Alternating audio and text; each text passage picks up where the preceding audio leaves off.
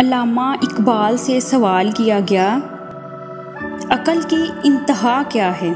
जवाब मिला, हैरत। सवाल किया गया, इशक की इंतहा क्या है? फरमाया, इशक ला इंतहा है, यानी इशक की कोई इंतहा नहीं।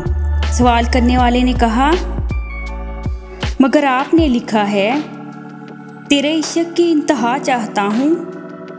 इस पर मुस्कुराकर फरमाया दूसरा मिसरा भी तो देखिए, जिसमें अपनी गलती का इतराफ़ किया गया है। कि, मेरी सादगी देख क्या चाहता हूँ। Thanks for watching